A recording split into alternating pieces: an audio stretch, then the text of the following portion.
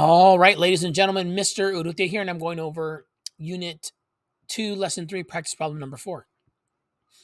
The area of the Mojave Desert is 25,000 square miles. A scale drawing of the map of the Mojave Desert has an area of 10 square inches.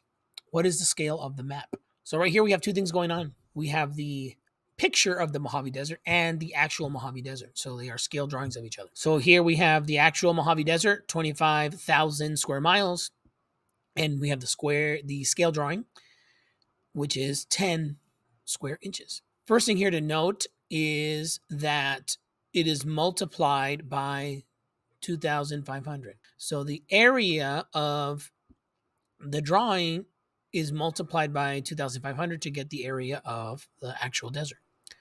Remember when you're doing scaling and scale factors with area it is not multiplication so the scale factor is going to be the square root of 2500, which is 50. 50 times 50 is 2500. So the important thing to remember here is this number here, when you're talking about areas, is not the scale. Now, for the scale of the map, I take the number of inches on the drawing and multiply it by 50. That's going to tell me the number of miles. So my scale is one inch equals 50 miles. Thank you, ladies and gentlemen.